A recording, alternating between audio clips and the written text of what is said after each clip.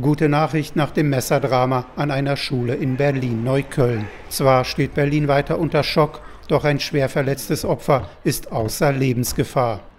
An der evangelischen Schule Neukölln klettert ein unbekannter Mann über den Zaun und sticht auf einem Spielplatz auf zwei Kinder ein. Die beiden sieben und acht Jahre alten Mädchen werden schwer, eines sogar lebensgefährlich verletzt. Weitere Kinder, die auf dem Spielplatz sind, müssen das Unfassbare mit ansehen. Kurz nach der bestialischen Tat tritt Berlins Bildungssenatorin sichtlich geschockt vor die Kameras. Das, was wir bis jetzt wissen, ist, dass es sich um einen Einzeltäter handelt, um einen erwachsenen Einzeltäter. Es ist kein Fall von Jugendgewalt. Ob er die Mädchen kannte, werde noch ermittelt.